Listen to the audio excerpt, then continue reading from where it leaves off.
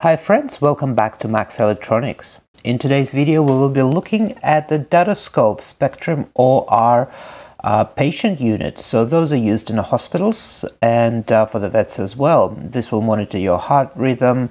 It also has accessories that you can do blood pressure, you can do um, ECG, you can do all sorts of different things, temperature, pulse, uh, nurse call, you name it.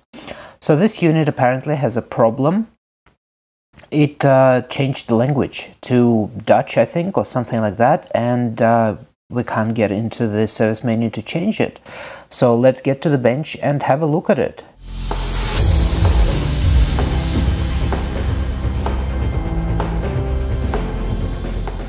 So here is the unit itself. I've plugged it into AC power. So if I turn it on, there is a switch button on the side here. Uh, let me get rid of this. Uh, there's a defibrillator, uh, IABP, I'm not sure what that is. Uh, there's a two slots for the cards, which we don't have. So um, there's PCMCIA cards. Power button. So if I turn it on, very loud beep. You can hear the fan turn on, the lights come on. And the unit boots fine. As you can see, flat lines because we've got nothing connected. Uh, so it works absolutely fine. However, you've noticed it says monitor setup in English, print setup in English, parameters in English, and then it's got uh, functies and patient spelled a bit incorrectly. Um, if we go into menu, so let's say I think trends, and it is in a different language. So even though it says leads off, you know, it, it's event scrolling so it's mixed language. Setup however is in English. If we go into setup menu it it's actually says Dutch but it doesn't mean Dutch. I think it's just it's a plain format. Auto manual. So it's yeah and to get into the, uh, as you see, it says Dutch everywhere. It, it's actually, what I understand, it's the name of the settings. It's not, doesn't mean Dutch language. So let me zoom in. So you can see uh, all those, it, it's a bit strange parameters. If we exit that and go to, um, where is the exit? If we go to setup, which is, I don't remember, that's ECG I think. Again, it's all in different languages. Excuse the fly. And to change the language, you need to get into service menu. Now the service manual says that to get into service menu, we turn the machine off, we hold down the trends button and hold it uh, and turn the unit on holding those buttons until you see the logo and then we'll let go of the buttons and it should go into the setup menu which is you know to set up the unit the country language all that sort of stuff uh, time format. But this unit doesn't go into it. So if I hold trends and turn it on. Now logo appeared I'll let go of the buttons and now it should go into the service menu but what we get is the beeping and that's it. So nothing I'll have to turn it off because it's loud and there's nothing no response from any buttons so you can just turn it off. The other one where you can go into diagnostics which is you know your typical button diagnostics. That works. I'm pretty sure it's a spectrometry and turn it on.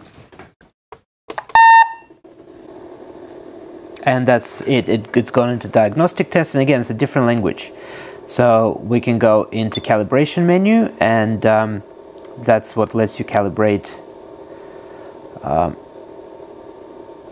the unit. We're gonna open it up and see if we can uh, do something about it. I can't guarantee that we're gonna fix it. I've had a look online and it apparently could be a bad main board. Uh, we'll check it out inside. It could be simply bad capacitors. You know, I'm not sure what some people say it's a corrupt um, firmware, but um, we're going to have a look inside the unit anyway. If you're curious to see what's inside, stay tuned. So I'm going to start by removing, uh, obviously, the uh, tape, which was cropped um, to the size. It's not even, you can see someone just hacked it to fit the unit. Now we're going to remove the lead acid batteries that are probably dead by now. They are a little bit tricky to open, but there we go. And there are two large lead acid batteries, which I believe would be dead.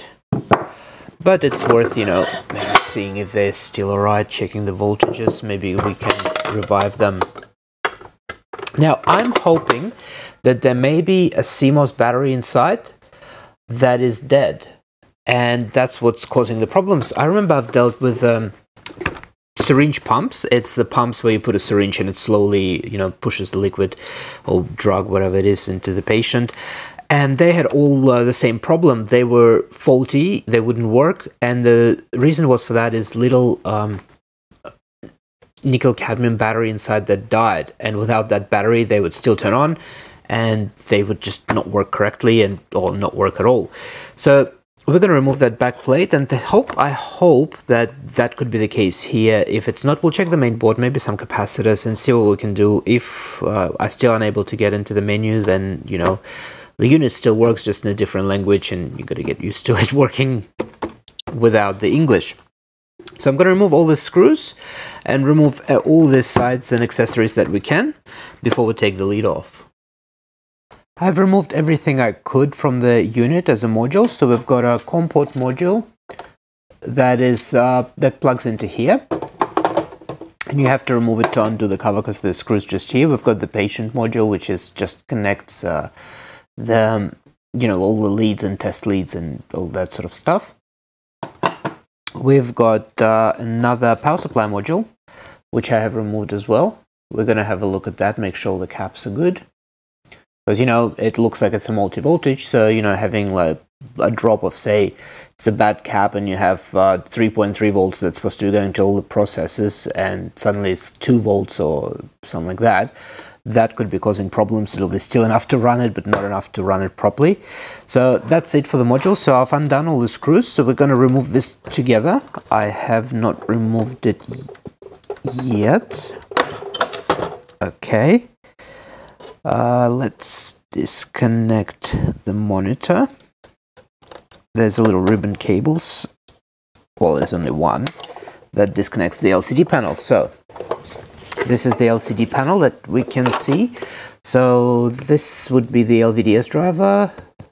Actually, no, the LVDS, I think it's a TTL panel actually. I'm not sure, it looks like a TTL. There's a cap that is sideways for some reason, doesn't matter, but it works. That all it matters. So we've got our inverter for the backlight and the panel itself, little speaker here that is very loud, and that's it, and the control panel in the front. Yep, that's it. So that can go aside since uh, I'm pretty sure there's nothing wrong with that. Now the main unit is still have to be removed from this panel. So we've got that attachment, I'm not sure what that is, it's some sort of external plug-in. We've got our blood pressure pump. And uh, yeah, and the back plate. So let me remove this back plate. After trying um, for a while, it took a while to remove the main board, which I'll show you in a second. Uh, that's the back of it. So we've got a battery compartment for those um, not lithium, but for those lead acid batteries. We've got a little solenoid for the blood pressure pump relief. A little printer, thermal printer, power switch, and a little driver for the printer, I guess. Well, it's not a driver, it's more of a power supply for the printer with a little fan, which will be cleaned because it's filthy dirty, as usual. And that's it for the back of it. So let's have a look at the main board. Here is the main board. And it's got a multiple card so looks yeah looks complicated. I can't see a battery anywhere that would hold the BIOS or something so we'll um I'll take that off the main back plate and check the back of it. There's a lot of stuff in the back so I'll make sure all the contacts are intact and uh, yeah, still can't see any BIOS or batteries. Let me get this off this uh, backplate and we'll have a look on the other side. I've decided to power the unit up. I've had a look at the board. I can't see anything wrong with it. Um, there's no corrosion, the contacts looks nice and shiny. so I decided to power on without any accessories, so all I've done is connected that uh, panel and the main board with a power supply at the back. So I'll turn the power on now. All right, and now I'm gonna try holding trends again while I am uh, powering the unit. Let me just get to the contacts.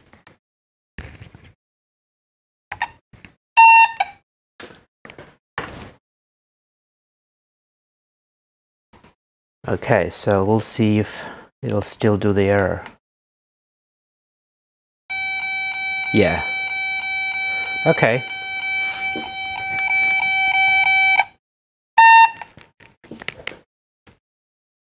And if we just start the unit without going into the menu,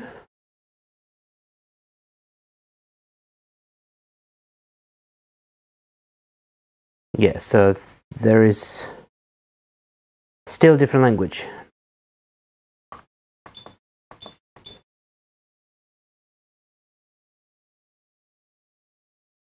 Okay, so unfortunately I don't think I'll be able to fix it. I will try reflowing the chips and then I'll put it back together and see if it'll still let me go into the menu.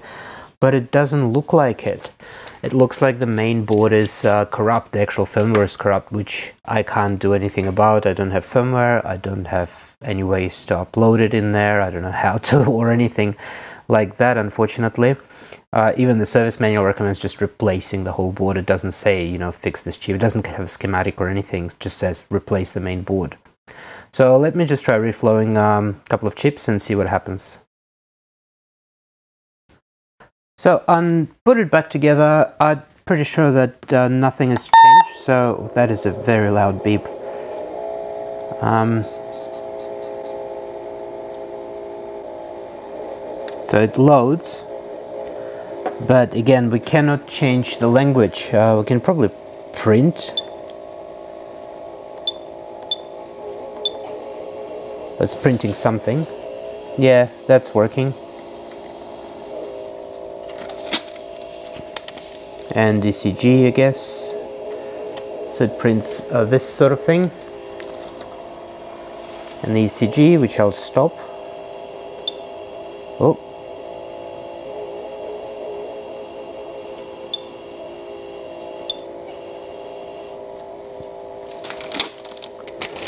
Here's ECG with nothing. So at least that works. Can still do ECG.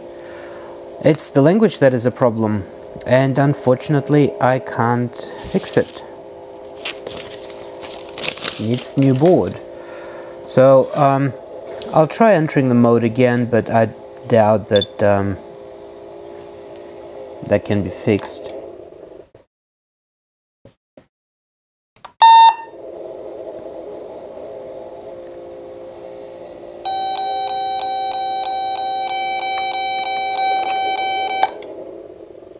So yeah, can't get into that mode.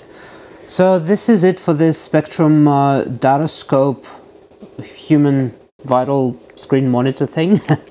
uh, this is unfortunately didn't turn out well, couldn't find the solution to the problem, so it stays in Dutch or I don't know, um, could be other language. It's weird because it's mixed, it's, it's English and it's uh, some other language. It's still usable, it works, there's no problem with, you know, readings or anything like that. It's still, you can go into the um, menu to calibrate it or do anything like that, uh, but the problem is the language. So that's it. Uh, hope you enjoyed watching this video. There'll be more videos coming up very soon. Stay tuned. My name is Max. Bye.